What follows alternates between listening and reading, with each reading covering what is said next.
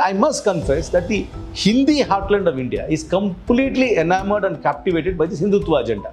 The Hindi Hindutva agenda in the Hindi heartland is working. Their agenda is that India must be an Hindu Iran. See, But do you have a narrative? Do you have a plan in place to stop the BJP? See, I am not. This is this is a question way beyond my pay grade. Mean, you have to understand very, very clearly. I can confidently tell you the India alliance is going to sweep Tamil Nadu. Being a, a, a non-Hindi speaking South Indian politician, I am also not able to imagine what we should be saying or what is. I don't really have a concrete idea. There is no more cabinet system in India. It is a presidential form of government where the PMO runs the government country with diktats and everybody else endorses it because they are constitutionally mandated to endorse it. That is all is happening. My assessment is that there is a grave inferiority complex for the BJP, in spite of the fact that they have this great majority. They are afraid to let the opposition speak. So what if we speak? You can vote us out. At a very personal level, what have these cases done to you as a politician, as a person? See, personally, what it has done to me is that it's it has uh, made people wary of doing business with me. Why would anybody want to do business with me? Because if the minute you do business with me, any transaction with me, by this wide interpretation of the PMLA, can be termed as a proceeds of crime. They have taken away my computers thrice. So I've stopped buying computers. Because it makes no sur- purpose. I do not know when they are going to come back. Again, they will take away the computer. They will only wrap it up in a gunny bag and it will lie in some ED office somewhere. But one one charge that the opposition makes time and again is that uh, you know the union government is using ED to poach uh, MPs, MLAs, or to you know try and uh, you know poach politicians from one side to another. What happened in your case? Were you pressurized to join the No, I- BJP? see, or- I think or like, was See, everybody knows what I stand for. I mean, I don't think any, I mean, the BJP will be most uncomfortable with a person like me, and I will be most uncomfortable with BJP. So what happens in the custodial interrogation? Nothing. Actually, Then nothing. Actually, I have you, been. you have you have been there several several I have, times. I have, in fact, I've been saying that they must record it and live telecast it. They must live telecast my interrogations. I've been asking for this. I even told the court, please live telecast. You will un- understand the absurdity of these exercises. In my entire uh, time with the CBI of 11 days, I would have uh, totally, uh, my entire questioning would have taken place for about four hours. Rest of the hours? I, I was just waiting. That's all, nothing. else. Waiting where? So these are reasons why I think that NEET as, as it stands today has no role in Tamil Nadu. But we need to build a national consensus. And I think the Chief Minister made a good attempt in writing to the Chief Ministers first. I think the next step, in my opinion, should be the Chief Minister must call for a meeting of Chief Ministers or Education Ministers from all states. And also coming to the appointment of TNCC president, have you expressed your willingness that you want to be there? I have, I have. As I told you, as you rightly said, it's only an appointed position. It is appointed at the will and pleasure of the Congress President. I have worked with the DMK and I understand the DMK and I'm absolutely certain that I can manage the relationship with the DMK. We know our limits. Annamalai's Padayatra has crossed Sivaganga. Did you Good. I hope he had good ch- chettinad food on the way because our place is known for good chettinad food. Hello and welcome to the News Minute interviews. Today we are joined by Karti Chidambaram, who's a Congress MP, someone who is very outspoken, and we have a lot of questions to ask him about uh, uh, the Congress Party, the India Alliance, and uh, you know his own experience of uh, uh, encountering uh, the central agencies. Uh, we are recording this interview in his office in Chennai, which has been raided multiple times by multiple agencies. Uh, Two agencies eight times. two agent two agencies eight times uh, thank you so much for talking to us sir you have been a first time mp for the past four and a half five years you're com- completing five years what has been your experience like being an mp in modi's india See, an MP really doesn't have much uh, powers. I mean, it's even though that's the highest uh, elected representative the people directly vote for, the MP really has no real powers. Most of the services which affect people are provided by the state government. So that authority is not there with MP. And in the central government schemes, there is really no role for the MP to be involved in the implementation of those schemes because they are implemented through the state administration or by the bureaucracy. But people's expectations from the MP are very, very high because it's the highest elected representative they have. I don't blame the people for having this expectation because it's natural for them to have expectation. But without executive powers, the MP within the constituency typically encompasses one district or a little bit more than one. It really has no real writ. All we have is this 5 crores as MPLADS, which we can recommend at our discretion. This is also not, and to doing small uh, projects by uh, overriding the bureaucracy and overriding the red tapeism. And so we typically end up doing, you know, a bus shelter, a water tank, a bore well, or a community hall. These kind of small things is what we can do. So really, there is not much an MP, particularly an MP who's not part of the ruling alliance, in, who's not part of the ruling party in, in the state, or is not part of the government in center, can actually do in the constituency.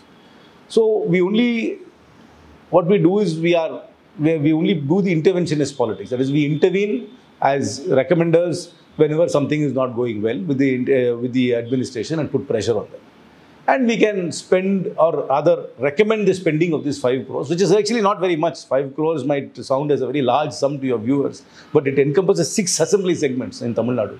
When you divide 5 crores among six assembly segments and a population of nearly 20 lakhs, it's really not much you can do in terms of project size. The typical project size is only between 3 to 7 lakhs. So small projects in small communities can be done, and that is the only direct benefit which we are uh, giving to the uh, people. As far as parliament is concerned, and I've always said two things. One is the skill sets one needs to win elections in a constituency and the skill sets one needs to be considered a good MP in the constituency are completely different from the skill sets you need to be a performer in parliament. To win an election, you need to manage the political environment. You need to be part of a political party, a political alliance, and manage the local equations there to win an election. That is the skill sets you need. And then to be interacting with the local population in their festivities and in their uh, days of uh, distress as well. That is the kind of interaction which, which will make you a reasonably popular MP in the constituency. But the skill set you need in parliament, particularly if you are in opposition, is a skill set to intervene and debate very, very complicated laws, which I believe most MPs, including me, do not really have the skill set. We are not really prepared for it. And neither are we given the tools and the resources to, in order to, uh, to be effectively uh, educated about it. I'll tell you. I'll so you bills are not given to you. Bills are given one night before the it's being. See, this government does not give the bills well in advance. See, typically what should happen is a bill should be introduced in parliament and sent to the standing committee. Then standing committee will take about six months to study it because the whole parliament can't study it. I am a member of a standing committee. I enjoy my work in the standing committee. I completely enjoy my work in the standing committee. I'm in the IT standing committee. I like the work there. Standing committees must be given greater importance. Standing committees must go through the bill in great detail and then send it back to parliament and then you should put to vote. But this government does not, if you look at the stats, I don't have the ready number with me, overwhelming number of bills are never sent to the standing committee. So they are passed in parliament. And in parliament, they are passed because of the brute majority the government has. And we are given very little time to even study the bill. Even in the little time you study the bill, every MP, first of all, you need to have command over the English language to in, in order to be uh, conversant to even to understand a bill. A bill is not a simple document or a, or a newspaper story. It's a very complicated document.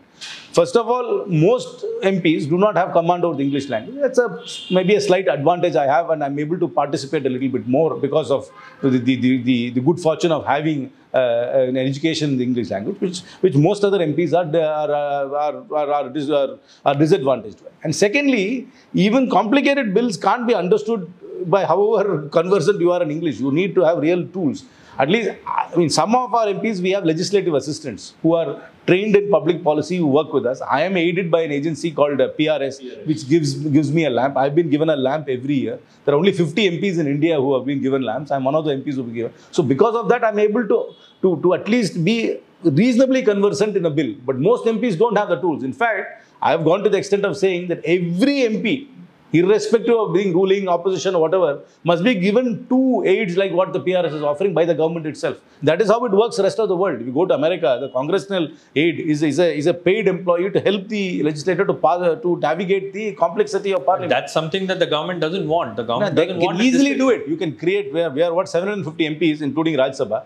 1,500 people of a good cadre can be easily created and irrespective of a permanent cadre and allow two of them to an MP. Without this, without the command of the English language and without the aid of these two uh, very well-trained uh, public policy analysts, it is impossible to participate in a debate. For example, I get opportunities to participate because I have the tools to participate.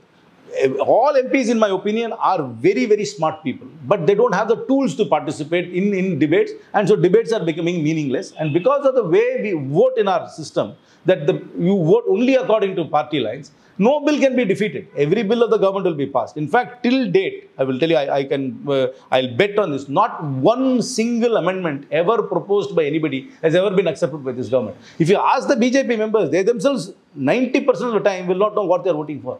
They vote because the government has asked them to vote. There is no real serious introspection. So, what we are doing in parliament, we are only acting as a rubber stamp. See, in parliamentary parlance, it is always done. The government can have its way because it has its majority. But the opposition must have its say. Here, they don't want us to debate. They don't give us adequate time. They don't give us adequate resources to understand the bill. And then they, then they ask us to uh, participate in debates. And sometimes because they don't agree to what topics we want to debate, it is all passed in a din. For example, the data protection bill is a Yeah. seriously technical uh, document. a Technical document. I have been part of the IT committees where we have seen various variants of the data uh, data protection bill, but we have not seen the final version. It has been passed uh, in the din. I mean, um, 99% of the members of parliament will not even uh, understand the bill if you give them to them. They need they need serious assistance to even understand the bill. But that is how our democracy is functioning. Today, parliament has been uh, reduced to a rubber stamp. It is almost like the Chinese parliament where a thousand people are there. When Xi comes in and says something, everybody lifts their hands. Here you have 303 people of the BJP who lift their hand and majority wins and that's how it goes. So we are the entire purpose of parliament where there has to be debate, discussion and dissent and uh, you know and, and changing of minds. See changing of minds never happens in indian politics anymore. Nobody changes their mind. Everybody comes with a fixed notion of where they stand. Nobody ever listens to another person and says yes i've changed my mind. You have convinced me it that never happens in politics anymore. So it's it is becoming a, a rubber stamp. In that way my parliamentary experience in delhi has been very very disappointing for me. So, what do you think has changed in the past 10 years in India after Modi took over as uh, the prime minister? Because you are someone who observes politics very closely. You are from a political family. You have seen the UPA, the functioning of the UPA, and now you're seeing NDA government uh, for the past 10 years. What has changed? Uh, See, fundamentally, I always believe a coalition government in India is far more democratic than a single party government. Because we, since we don't have debates in parliament because of the majority situation, in a coalition government, parties have to agree before something is brought about. And when a single party is seriously dominant, like the way the BJP is, there is no debate. I mean, demonetization happened. The finance minister of the day did not know it. Most decisions are announced by the prime minister without the ministers even knowing it. The farmers' protest was uh, that the laws were withdrawn without the agriculture minister knowing it. There is no more cabinet system in India. It is a presidential form of government where the PMO runs the government country with diktats and everybody else endorses it because they are constitutionally mandated to endorse it. That is all is happening. We are really become, we are no more a parliamentary democracy in the true sense. We are no more a cabinet driven government in the true sense. We are a presidential government run from the PMO with this select band of officers. So what has, uh, you know, like you said, things have changed in the parliament, things have changed the, the way how the government functions. What has changed in the BJP too? See, the BJP, for whatever reasons I dislike the agenda and the ideology of the BJP, I must give it to them that they are a democratic party. Anybody can become the leader of the party. That goes through a very rigorous internal well, you, you may not necessarily mean a straightforward election, but a rigorous internal contest or a process by which somebody emerges in the top. And that I must uh, give them that credit, be it uh, Vajpayee, then Advani, and now Modi, who really became the leaders of the party. Whether somebody else holds the position of the president, nobody ever believes that Mr. Nadda is the leader of the party. Everybody believes the leader of the party is Modi. But he came through a, a rigorous contest. But in the past, the BJP was a collective. Under Vajpayee and under Advani, decisions were taken as a collective. A parliamentary board was there, and that parliamentary board had senior members of the party who used to debate, discuss, and then decide. That system has completely collapsed. Now it's become a completely a one-man show. Like most other regional parties function in this country, where it's almost the, the regional party has got a normally a larger than life uh, leader. And this has also become a BJP has also become now run by a larger than life leader who runs it, who is his dictats, and everybody else follows. There is no dissent, there is no disagreement with the leader in anywhere. Even I don't think there's any disagreement in private, and definitely, definitely no disagreement in public. But that was not the case under a Vajpayee or, or a Advani. That change has happened in the BJP, where it has shed his uh, its uh, internal democratic structures that has definitely happened. So the BJP no more is a while the present leader has come through a quote unquote democratic process. Now everything else is a dictator-driven process in the BJP and not a democratic process. So you interact with a lot of BJP MPs or union ministers. In private, do they complain about the internal functionings Uh, of the they are. They make the, some of very them, scared. Some of them, uh, I have good relationships with some of them. I obviously can't name them, uh, but uh, they do lament about the the style and the the tenor in which the BJP is going. It is no more a, a participative collective that it used to be. Uh, it, it is a very personality-driven thing, and and more and more people are in, in in the BJP are also becoming fanboys like they are in, with the regional party larger than life leaders. I mean that was not the case with the BJP. They are becoming fanboys of the prime minister. So it's almost like uh, you know you know when he walks into the uh, parliament, they are all thumping their desks as if some gladiator is walking into the into the Colosseum, and you know every time uh, chanting his name whenever uh, he wants to say. So that, that, that those kind of uh, practices was not there uh, in the past in the BJP. BJP was a far more, uh, you know, it at least appeared to be a far more of a collective. That's definitely gone. But having said that, the opposition was also powerful at some point in time, holding the government to account.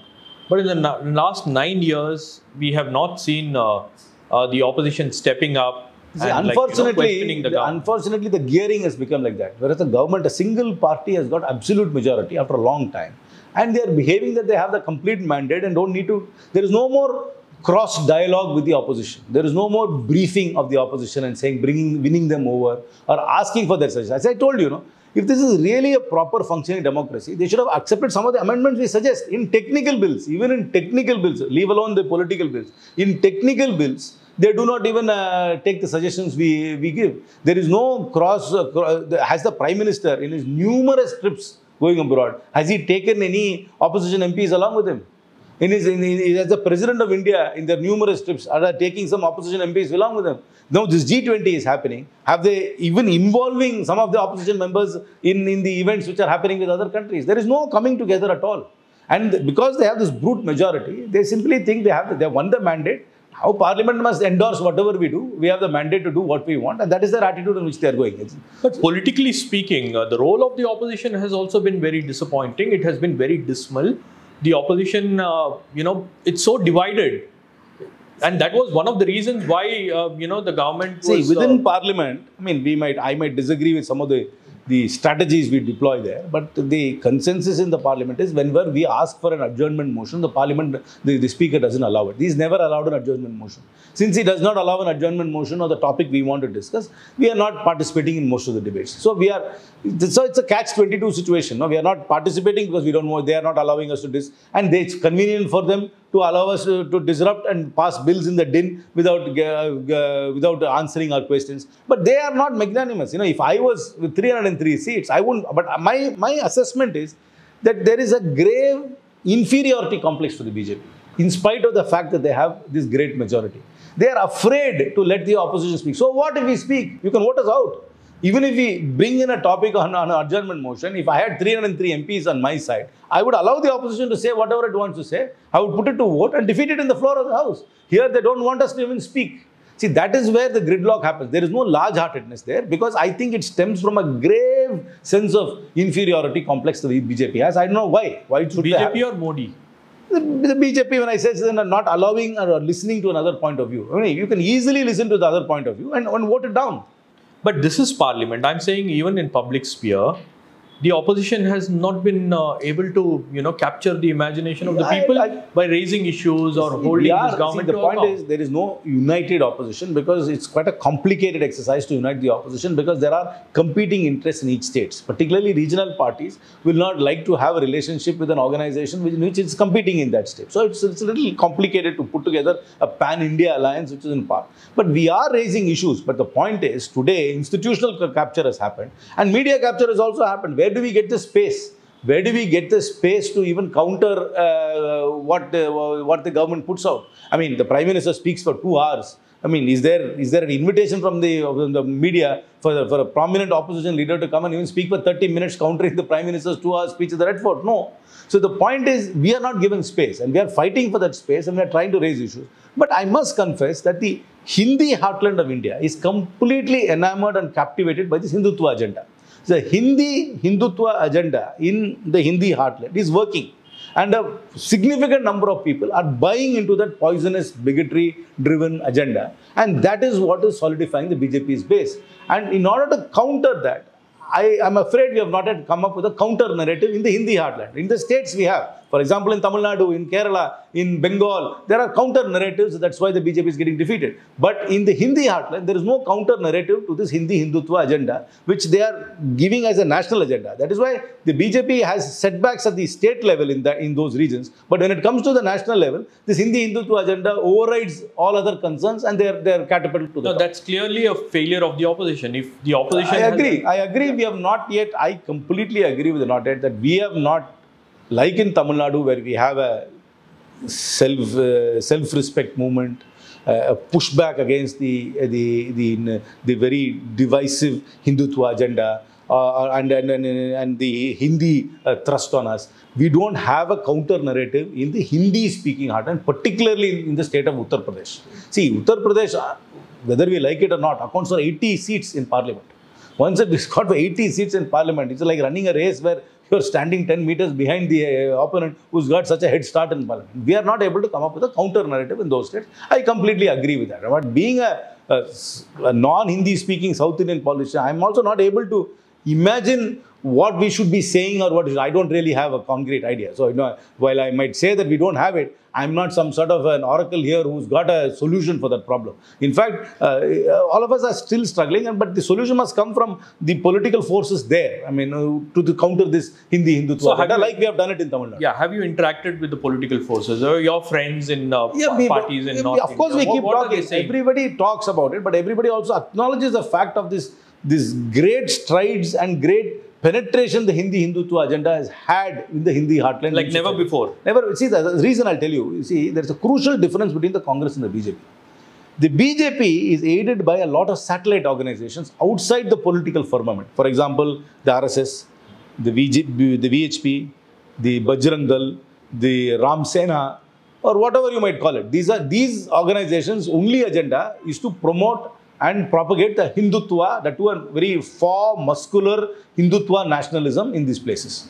So the BJP gets the benefit from these organizations which are constantly interacting or meddling into daily affairs, stoking fear, stoking passions, and consolidating their support base. And that support base automatically translates into a BJP vote bank when it comes to an election. Because if you, you are agreeing to the agenda and the campaign of these organizations, you will automatically gravitate towards the BJP. You can't be a Bajrang Dal supporter and say you'll vote for the Congress. You can't agree with the VHP and say I'll vote for the Congress. It doesn't work.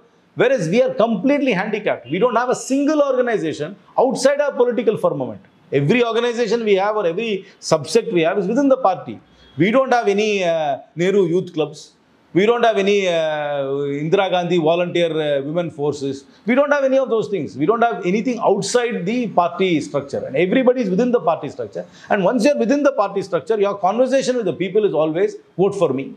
See, in my opinion, your, your conversation with somebody cannot be, the first line cannot be vote for me. You need to interact with them socially. You need to, to, to become one with them socially uh, and, and, and sort of uh, participate in their daily concerns and before you convert them into a voter. Whereas as a political party, when you don't have the social structures to penetrate, you, you you're, you're actually ceding space for other forces to, to enter, which they have these organizations, and that's have a distinct advantage. And these organizations, in my opinion, if you actually weigh the Congress and the BJP as political parties, the reason why we are not able to match them in the Hindi heartland is because of the support they get from these satellite organizations which work for them, whereas we do not have equivalent satellite organizations for us. So, which means that in 2024, the job of the opposition parties is going to be very No, no, difficult. I, I, You- it is it is an uphill task. See, it, see, if you look at state by state, I am absolutely certain that in Kerala and Tamil Nadu, the uh, India Alliance will sweep the polls. I'm absolutely certain that we are going to, our performance in Karnataka is going to improve. But in the Hindi heartland is where my concern is. While uh, what is the agenda we are propagating in order to win? Because that is almost a straight fight between the BJP and the Congress. There is no more aid and assistance from these uh, alliance partners. There are a lot of places there is no aid and assistance from the alliance partners. So how do we consolidate it? It's a complicated question, and I honestly don't have the answer at the moment. But it is very worrying that this Hindi Hindutva agenda has taken such a deep root socially within the people of, of, of the Hindi heartland of India. So, what exactly that BJP wants to do if they come back for another term? Their their agenda is see their agenda their agenda is very clear. They want uniform civil code. They'll want to other the Muslims. They want to treat. See their agenda is that India must be an Hindu Iran. I always say, you know, I mean exactly like how the Ayatollahs run Iran, the BJP wants to run India on a Hindu version. They want to make India Hindutva Iran. That is their goal. Whether it is with the religious police, the moral police, uh, no dissent, uh, judiciary, uh, you know, interpreting the law according to their uh, uh, historic code. That is the, exactly what they want to do. In fact, they can pretend as much as they want to do. The, the BJP's version of vision for India, Bharat, whatever you might call it, is exactly what uh, the, the Ayatollahs have done to Iran. So, the India alliance will not be able to stop them? No, no, I'm Like, not. I see that is too premature to say. See, we, we see. But do you have a narrative? Do you have a plan in place to stop the BJP? See, I am not. This is this is a question way beyond my pay grade. I mean, you have to understand very very clearly. I can confidently tell you the India alliance is going to sweep Tamil Nadu. We will win all 39 seats in Tamil Nadu. I can confidently tell you that. Last time we won 38 out of 39 seats. This time we will win 39 out of 39 seats. Okay, because South is clearly sorted. So I- but I what about the North? That's where that, is where I'm trying to tell you that I'm not. I'm, it's a question beyond my pay grade. I don't necessarily have the answers or neither the tools. I don't have the, the communication tools to, to, to even to, to, to, to, to communicate a narrative. That is a that is a communication which has to happen from the native speakers of that place. You see, I always believe that elections are won and lost at the ground by, by people communicating at the ground. Here in Tamil Nadu, we are clearly able to articulate and communicate uh, the, against the poison of the BJP. We need to do that there. But how do you do it? What tools you deploy is something which only we- call must be taken by the ground level leaders there, and not. I mean, I don't really have the skill sets to do that. And uh, you know, opposition has fa- uh, you know faced considerable amount of onslaught in the past nine years. Going forward, ahead of elections, is there a concern that uh, the central agencies will be Of course, that is that is exactly what they will do. Today, I also read that uh, Abhishek Banerjee has been raided this morning. I mean, they will constantly go after political leaders uh, to to to overawe them, to to to make sure that they are immobilized and they are caught up in this uh, legal rigmarole and uh, they are not able to concentrate on, on on politicking. That is their strategy because there is complete institutional collapse. What is sad is that the guardians are not stepping in. I really am disappointed that the courts are not stepping in to stop this kind of unbridled uh, exercise uh, and weaponization of the law. You see, please understand one thing.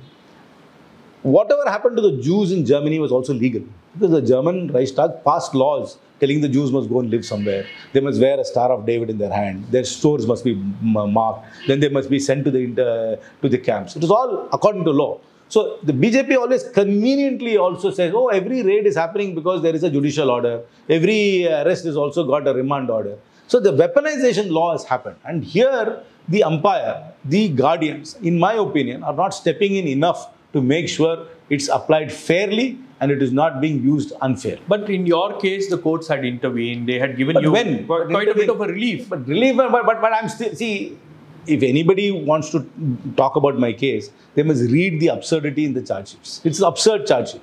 And I'm telling you that this case will drag on for a long, long time. But I have to deal with it. I have to deploy lawyers. I have to appear. I have to seek permission to travel abroad. This is the punishment. I know that I am going to get absolutely cleared by all these cases. But when? It's already been uh, from 2015, it's been eight years. It might take another 28 years. Who knows? Who knows? So, I mean, as uh, jokingly said when Lakhubhai Pathak filed a case against him, he said, petitioner will die, uh, respondent will die, judge will die, uh, lawyer will die, but case will go on forever. Okay. At a very personal level, what have these cases done to you as a politician, as a person? See, personally, what it has done to me is that it's it has uh, made people wary of doing business with me. Why would anybody want to do business with me? Because if the minute you do business with me, any transaction with me, by this wide interpretation of the PMLA, can be termed as a proceeds of crime. So tomorrow morning I buy something from you. Technically, they can say this money came from that proceeds of crime which I have gone to you, so they can raid you also. See, if you look at the- I, I hope interviews don't come under I- fall this, under is- this is not a paid interview, so you know. you- Yeah, yeah, it is. It is not a paid interview. We should we should be fine. so the point is, see, they have raided absurd people. They have they've and you know they have raided my architect. They have raided my web designer. They have raided my personal assistant. So it, it, it, it, is it is it, it leads to so much fear that nobody wants to do transactions with you. Nobody wants to do business with you. So that's what happens. And then and because of because you're un, un, are technically uh, un- un- under trial, you have to seek permission every time you want to travel, which is a fundamental right. So your rights are seriously curbed. Your ability to do business is curbed. Then you have these attachment proceedings, which the ED does left, right, and center. That's absolutely no meaning. So your assets are blocked. I mean, they're not taken away, but you really can't transact in them. So it really disrupts your life. You know, I have the resources in terms of uh, of a legal background and, uh, and a good legal team I'm doing. But uh, uh, uh, anybody else would have folded up by now. Would have really folded up by now. I mean, there has been nobody in this country who's been raided eight times. For what? Can I mean actually the cost of those raids would have been greater than the false accusations they have made against me.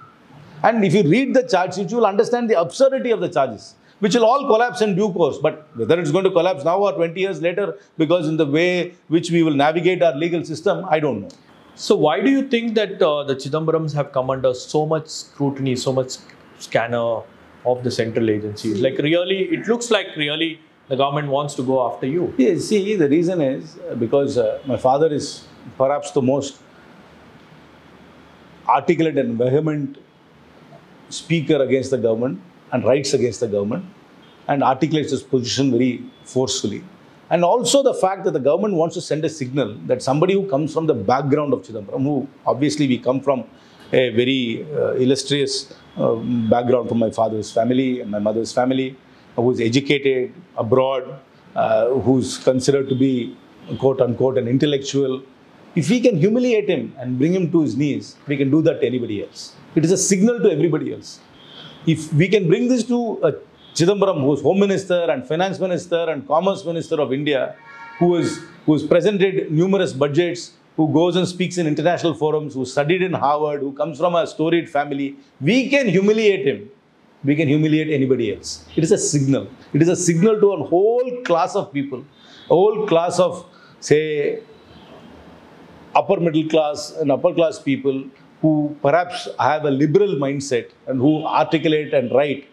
If we can do to him, who perhaps is at the top of the pile, what are you all? It is a signal. That is what they want to do.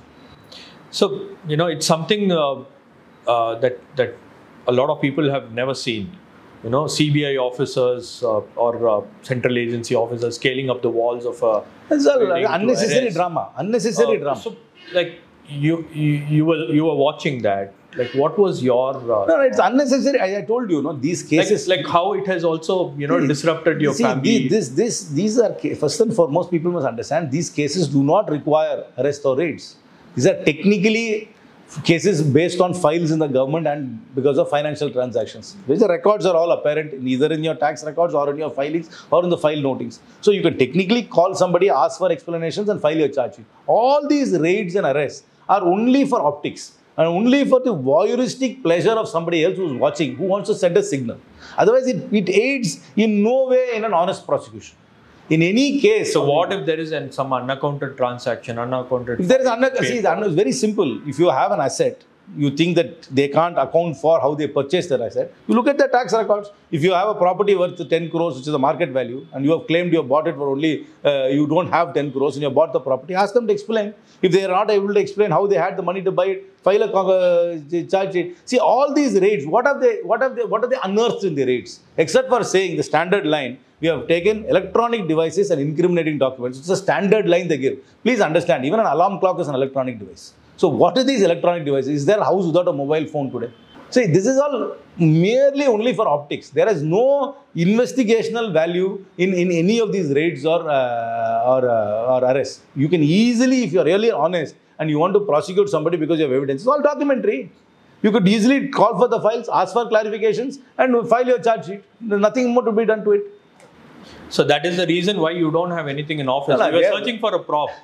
to actually keep something. See, the in point is, they've taken away my computers thrice. So I've stopped buying computers. Because it makes no sur- purpose. I do not know when they're going to come back. Again, they will take away the computer. They will only wrap it up in a gunny bag and it will lie in some ED office somewhere. So what is the purpose of even having a computer? It will be taken away everything. I have done it three times. And, and then every time we apply to the court to give it back, they'll come and say, this is uh, evidence for this. Uh, I do not know evidence for what. So it's evidence or something, so we can't release it until the trial is over. By the time the trial is over, that computer would have been outdated. So I have leave it at But one one charge that the opposition makes time and again is that uh, you know the union government is using ED to poach uh, MPs, MLAs, or to you know try and uh, you know poach politicians from one side to another. What happened in your case? Were you pressurized to join No, the no, I- BJP? see, or, I think- or like, See, everybody knows what I stand for. I mean, I don't think. I mean, the BJP will be most uncomfortable with a person like me, and I will be most uncomfortable with BJP with my liberal views and my globalist views. I consider myself a globalist and a liberal. I will never fit into their paradigm. So, they never tried that. I think they- or maybe like somebody must have said something to you, like No, a no, lot of that is always thrown about all the time. You know, oh, all their troubles will end. I said there are no troubles. There are only invented troubles. Let me go through it. When I say I am a secular liberal globalist, and there is no place better for me than the Congress Party. So what happens in the custodial interrogation? Nothing. and all that? Actually, Then nothing. Actually, I have you, been. you have you have been there several I, several times. I, have, in fact, I've been saying that they must record it and live telecast it. They must live telecast my interrogations. I've been asking for this. I even told the court, please live telecast. You will un- understand the absurdity of these exercises. They don't. Rahul Gandhi also said the same thing. Please live telecast what you're asking me. I mean, we have both exchanged notes personally about what has happened because he was also like, like what? What? What? Nothing, it just goes on. It's, it's absurd questions. You will start from where do you live to things, very obvious questions, nothing of significance. So why did you travel to London? Yeah, no, something I mean, not even nothing even significant. So in fact, if you live telecast those quote unquote, as the television says, grilling, you will understand the absurdity of it. I've been asking for my live telecast, but they, I mean, till now no court has agreed to it. But So I, that would be a great footage for a television. No, I, I want to. I, I, I want them to. In fact, there are some uh, interrogations which have been recorded because of court order, but I, I want them to play it out. I really want them to play it out. It'll, it'll, it will, it will, it will end this, uh, this farce once and for all. Because the press notes will say something else. Oh, the press like, notes are meaning. You must actually put the live telecast. Actually, you must put the live telecast of my interrogation and Mr. Rahul Gandhi's interrogation by the ED, which they have recorded. And I wish they will one day play it out for the nation to see what they did for 12, 13 hours, 14 hours every day with us. So what exactly happens? Nothing in happens. Interrogation? Literally you- nothing uh, How many questions will be asked? I mean, I, in my, my entire uh, time with the CBI of 11 days, I would have uh, totally, uh, my entire questioning would have taken place for about four hours. Rest of the hours? I, I was just waiting. That's all. Nothing. else. Waiting where? Nothing. I was just there. I was waiting in the room. That's it. Nothing else. So no interaction with nothing, anyone. nothing, nothing, You know, they take away phones, but I used to take books and I would read. That's all I would. See, there's nothing. To, what is there to ask? If you ask me a question, uh, have you met this person? Once I say I, I have not met the person, unless you show me counter, contrary proof that I have met the person, you can't even ask me a second question, correct? So most of the things when they say about anything, any of these allegations against me, I say I don't know the person. Then they have nothing to say that I know the person. They have nothing to show that I met the person. So where is the question of a follow-up question? Then nothing can be asked, no? What can you ask me? If you ask me, do you, uh, uh, have you met Osama bin Laden? I'll say no. But then what, what is the second question can you ask me? Did you buy arms from him? You cannot ask me. I've never met him. So you, unless you show me proof that I've met Osama, you confront me with nothing. So, so this is an absurd exercise. I am urging the citizens of India do not fall prey for these press notes and what comes there. Please understand, this is all optics. It's only done to create this myth of some sort of grave wrongdoing on part of the of the opposition to paint them and to color them into something which they are not. But it has worked. People who have ED cases have joined the BJP. People who have CBI True. cases, corruption But this cases is a, joined the this BJP. is a very So this, is a, uh, this has worked for them. This is, this is a very very very rough way of wooing somebody. Maybe it has. You know, they used to rave and rant against Ajit Pawar. Yeah. And exactly. today he crosses over. They say we are we have been waiting for you to come over and you have come to the right place. So, but that also if this if, the, if this uh, and he's also the finance minister. uh, and possibly the chief minister very soon. That's what I'm told. Uh, I'm very, I'm so I'm told that he's going to be made chief minister. So if this is going to be the politics and the people are not going to punish those who are doing this point, what can I say? So what will the India Alliance do? No, no. The India alliance is strong. It is strong in definitely in certain states. It is strong in Tamil Nadu. It is strong in Bihar.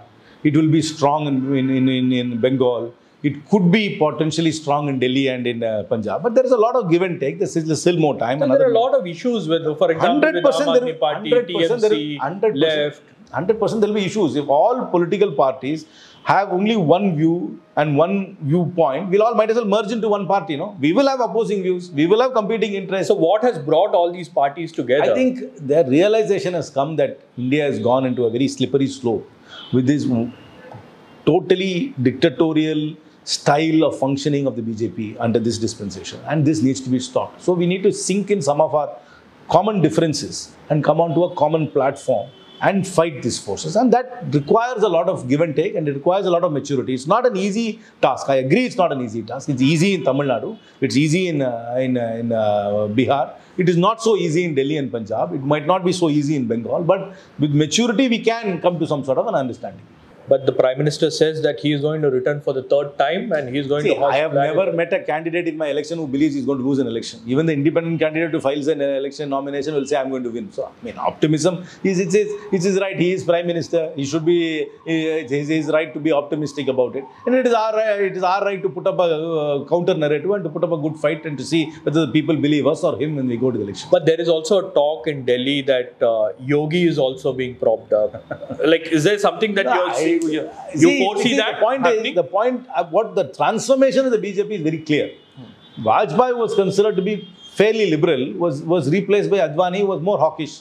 Advani was replaced by Modi, who was even more hawkish. So I will not be surprised if the BJP goes even more hawkish because I, I told you their goal is to become Hindutva Iran. So if you want to become Hindutva Iran, you need ayatollahs. If you want an ayatollah, you need these uh, self-appointed Swamijis, Gurujis uh, to come there. So this is the trans, this is the this is the path in which they will go. I'm not surprised at the path they're going, but I do not see uh, anything happening in the, in the short run. But eventually it might happen. But that, that is the progressive path the BJP is going. It wants an Hindutva Iran. There is also this apprehension that, like you spoke about Ajit Pawar, Ajit Pawar has gone to the other side. What about Sharad Pawar? Is there a concern that he is playing a double game? He's a very senior politician. It will be very unfair for me to be commenting about him. And uh, he is, I can only go by his public pronouncements, and I can also only go by how his MPs are in Parliament, particularly uh, led by Supriya Sule. They seem to be very committed to the India alliance. But what their internal dynamics is, what is going to happen to their party, what is happening to their vote bank, I'm not able to comment on it. But I will take Mr. Sharad Pawar and Supriya Sule's words at face value that they are committed to remain in the India alliance. Okay. Coming to Tamil Nadu, there are key issues here in Tamil Nadu. NEET.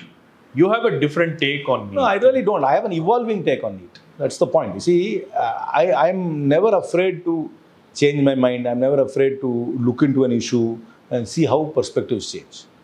The point No, is, your your earlier stand on NEET is uh, you were you were uh, hear, hear me out. Hear me out.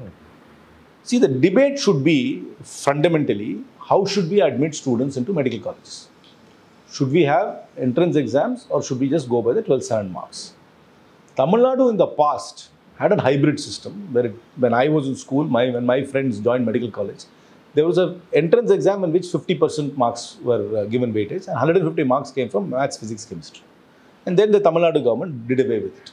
Then the Congress government proposed this central exam but gave the option for the states to opt in or opt out. Please let us be very, very clear. Congress government did not make it compulsory. Then NEET was introduced. And then initially it looked like a good entrance platform to allow people to join medical colleges. But my position has evolved after looking at data and, and talking to a, a huge number of people. First and foremost, I believe that this is anti-federal. That is my primary objection to this exam administered by a central agency when a state government is running the. So this is anti-federal. So that and on that count, I don't think NEET should be there. You cannot have a central exam for state government run institutions where the entire appointing authority, entire faculty, entire funding is by the state government. Even though there is a central quota, you can only restrict yourself to the central quota. The state government quota cannot. But after talking to a wide section of people, three, four things are very clear to me about NEET and why it's unfair to Tamil Nadu now. Initially, the entire curriculum was based on the CBSE uh, system, so that disadvantaged the uh, the higher the higher secondary and the state state uh, state state board school. But then Tamil Nadu government, I think in the previous ADMK regime, was equalized the, the, the state board curriculum with the uh, the uh, 7.5. So they, they, they equalized Okay, the curriculum also. Then they gave the 7.5 reservation. But what is coming out through the evidence is that even the people who are getting into NEET are people who are going to coaching classes.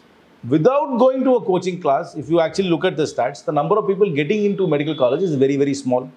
And what is also happening is that people take a year off to prepare for NEET and then they're getting in. And many, many of them are repeat takers of the NEET before they get in. So what is really happening is it is it has disrupted the educational cycle. You finish school in one year, you're not going to college the next year, you're practically preparing for an exam for one year, sometimes even two years, and then going there.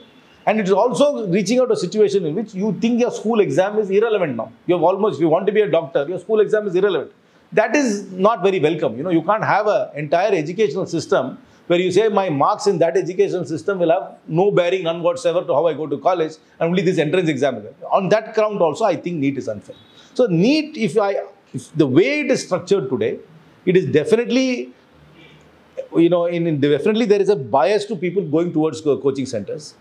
The bias between CBSE and the state board might have been equalized a little bit. I'm not too sure how the curriculum is, but it definitely seems to have a bias against uh, English and versus the uh, person who's studying in a in a vernacular language because the question paper translation apparently is not as seamless. And so this person who's studying school for 12 years is completely disregarded of his performance in that exam and is only evaluated another exam. But one must also understand that in the previous system, before we had NEET and before we had the 7.5 percentage examination, I mean, we only relied on 12 standard marks, the government school percentage into medical colleges also is very, very small. In fact, the real change and revolution, you must give credit where the credit is due, is for the ADMK government bringing this 7.5%, which this government is also continuing and have extended it to uh, uh, engineering colleges also, which is very good. I think you must increase it to 10% and even include aided schools because the aided schools are no really different from government No, the schools. DMK had promised that they will be giving No, no, 2.5 percent 2.5% to the rated, government graded school also must be given. That I think is a great social reformation. But I am now, my position is whether you should have an entrance exam solely for medical college is a call which the academics may take. But even if whatever that entrance exam is, there is no question of the central government conducting that exam. It must be a state government conducted exam. And even if the state government is conducting the exam, to disregard your 12 standard marks completely, it will also unfair because you go through an entire system. So either you go back to a hybrid system where a state government conducts an exam and you know takes this, uh, the 12 standard mark, or you do away with an entrance exam itself because the entrance exam is definitely disadvantaging people who cannot afford going to a coaching center. And there's multiple people, multiple attempts which are going, which was not there when you were only doing a 12th standard exam. That was your cutoff mark. You either got into medical college that year and moved on. Now this has disrupted that cycle because now there is a, uh, you are not only, not only this fresh intake is competing for the seat, in the previous couple of intakes. So there are, in fact, you have the pool of people participating in that competition for those 10,000, we only have 10,000 or 11,000 seats, is, is getting bigger and bigger, which is making the competition even more fierce. So on a, on a multiple levels, this has disrupted and in my opinion, uh, the equilibrium has gone. But it, the only good thing it has brought about or it is forced to brought about is this reservation for government schools, which I think should continue irrespective of what system we follow going forward. But has this uh, discussion come up in your party internal circles or not uh, really, internal not, discussions? not really. Nobody, nobody has really had an. Wh- wh- why is that not See, happening? no- no- because nobody- here DMK, their position is consistent. They have been opposing me Yeah. I on think- several fronts. Yeah, I, I think I think they're right. You also They- agree. Yeah, they, it's definitely anti-federal.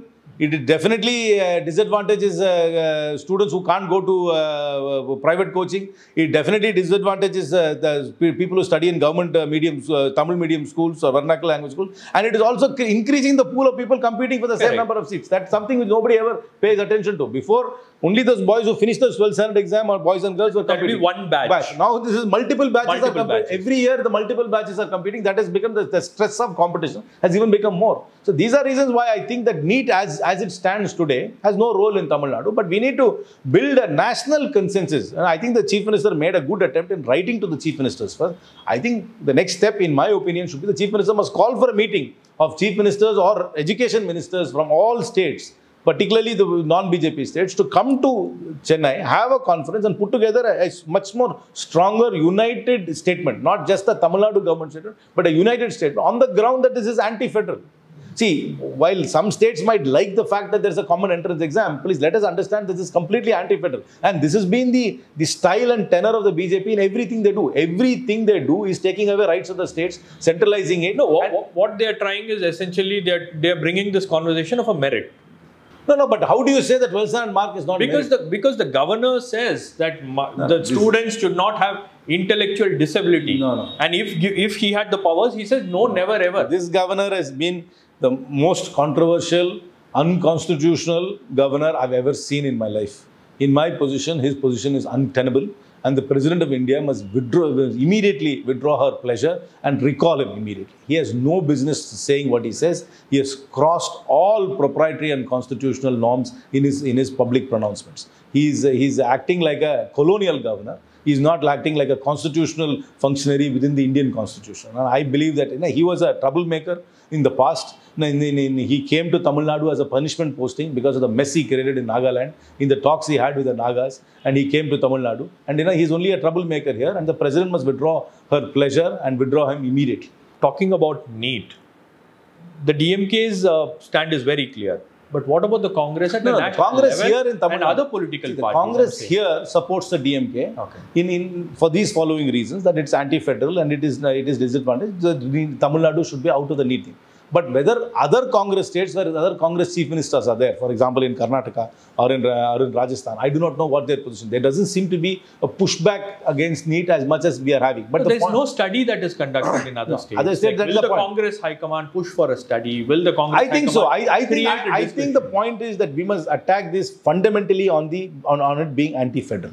That is the and that is how you must build a national consensus. And I urge the chief minister of Tamil Nadu to call for a meeting of all chief ministers, like-minded chief ministers, or at least education ministers, uh, medical education ministers to in Tamil Nadu and and pass a resolution. In my opinion, that will have a far more greater pressure point than only Tamil Nadu speaking. If we can get other states also behind uh, our- plea, I think there'll be a far more greater weightage. Okay. And also coming to the appointment of TNCC president, have you expressed your willingness that you want to be there? I have, I have. As I told you, as you rightly said, it's only an appointed position.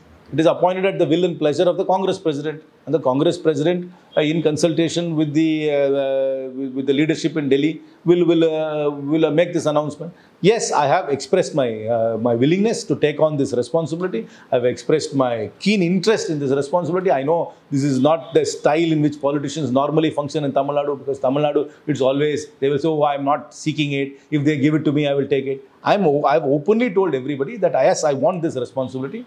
I think I can do a good job. I have the energy, I have the enthusiasm, and I have the ideas to take this power, the Congress party forward for the next three years if you give me this opportunity. But I completely understand that they have to weigh in multiple factors before making an appointment. I'm not saying that I have an ironclad case over everybody else. I'm sure there are there are other reasons why I might fit the bill, and there are reasons why I might not fit the bill, and reasons why. what somebody- are the reasons you think that you might not fit the bill? I don't know. You see, I, I, I, am I'm a little bit of an out of the box thinker. You know, so, so to, to, to give me the responsibility, it will be it will not be a status quo decision. It, it- it depends on what the leadership wants the party to do here. Here it will be a little bit of out of the box. And if they want that, I, but I've I've also told them what my strengths are. I've told them what I can do. But I'm sure others have also articulated their positions also. It's not as if that I'm the only one. Maybe I'm the only one publicly saying that I've, I I would like the opportunity. But I know there are a few others also who have evinced a very keen interest. And I'm sure they will weigh everybody and they will come up with a decision, or they might uh, also come up with a decision of uh, of continuing with the present arrangement until the parliament election is over. So this is not something. This is not a No, uh, one of one of the concerns that I hear from talking to people and leaders is that uh, they need someone who can manage the DMK, who can have a cordial relationship with the DMK. So they're very scared that if you if you br- bring a new person, uh, No, no, you, you know, it- I, I, I think this is, an, this, is a, this is a very, uh, in my opinion, a, a very unfair uh, comment on me.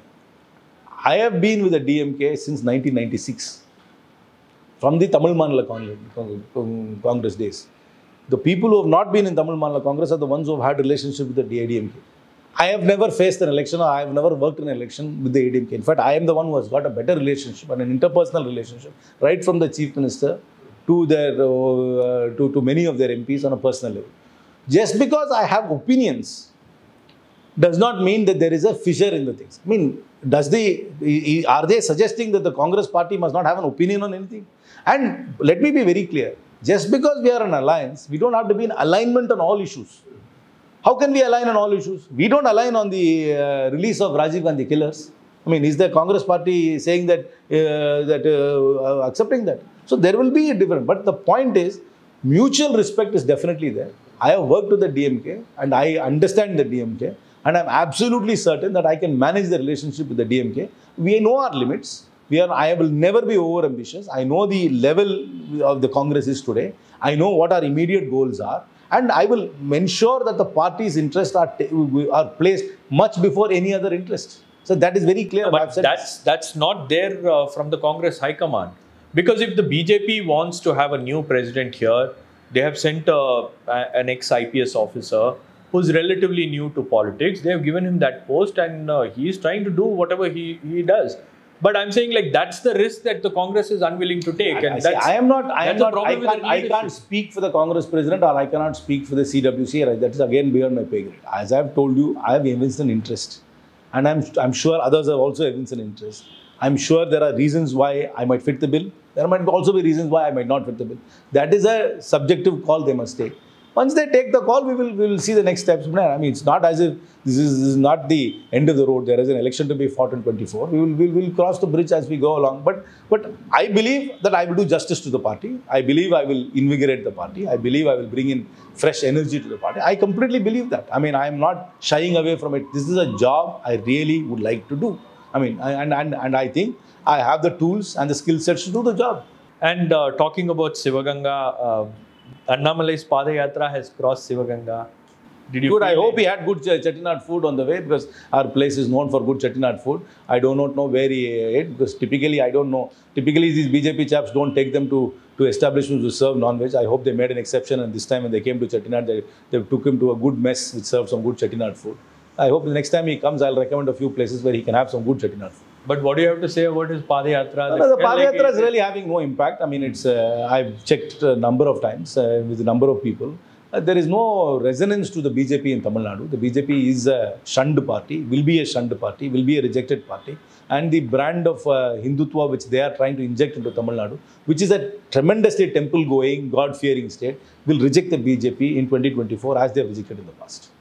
Right, Mr. Karti Chidambaram. Thank, thank you so much for talking to us. Pleasure thank interacting with you. Thank you. you.